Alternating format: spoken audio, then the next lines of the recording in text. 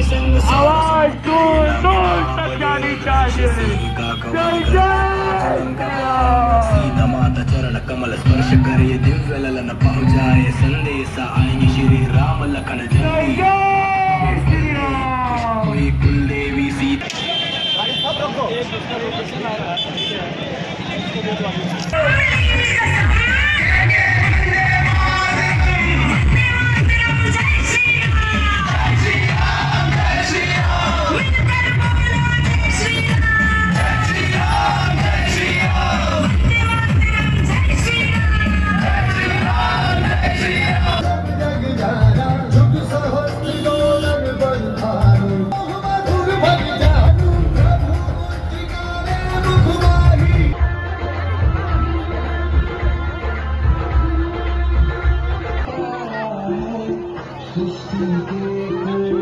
कर से पूछो